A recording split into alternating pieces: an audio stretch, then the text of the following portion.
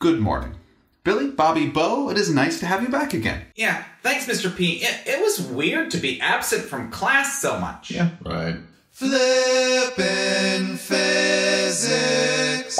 Bo, remind me, what is the definition of the period of simple harmonic motion and what is its symbol? The symbol for period is T, Capital T. capital T.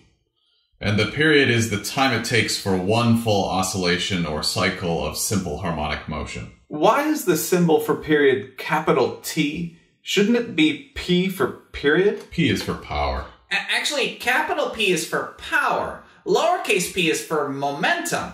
Perhaps it is because the Latin word for time is tempus, hence capital T. You know, like tempus fugit? Time flies? Okay. Yeah. I'm in the Latin club. Sure, it, it could be capital T for tempus. I don't actually know if it is or not, but sure.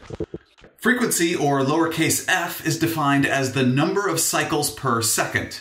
That means frequency and period are inverses of one another. Oh, right, because period is in seconds per cycle and frequency is in cycles per second. So if you take the inverse of one, you get the other. That makes sense. Cycles per second are called Hertz, or Hz, which are named after the 19th century German physicist Heinrich Hertz, who was the first to give conclusive proof of the existence of electromagnetic waves, which were theorized by James Clerk Maxwell's electromagnetic theory of light, which we will learn about later. Now let's look at an example of a mass spring system that has a period of 0.77 seconds. Bobby, could you please determine its frequency?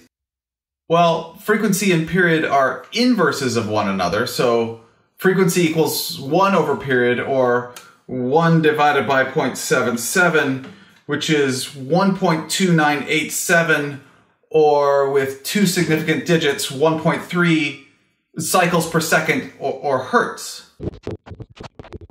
Good. Okay, please watch as the mass goes through 1.3 cycles in one second.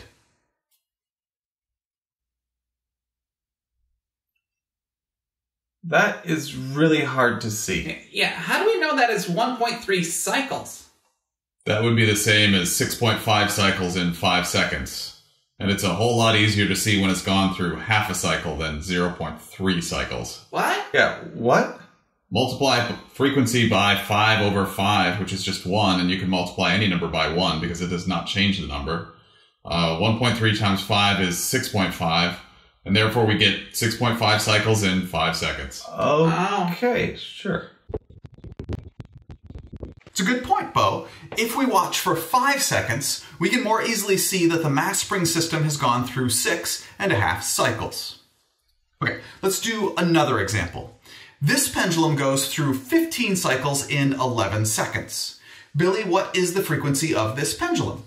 Well, frequency is in cycles per second, so we just divide um, 15 cycles by 11 seconds to get 1.36 with the 36 repeating, or 1.4 cycles per second with two significant digits. Uh, actually, do you want the units as cycles per second or hertz? That is like asking if I would prefer watts or joules per second. They are the same. Cycles per second and hertz are the same, so I do not really care which units you give your answer. However, however, it is very important that you remember that hertz are cycles per second. Notice this means we can determine the period of the pendulum. It is 0.73 seconds. Thank you very much for learning with me today. I enjoyed learning with you.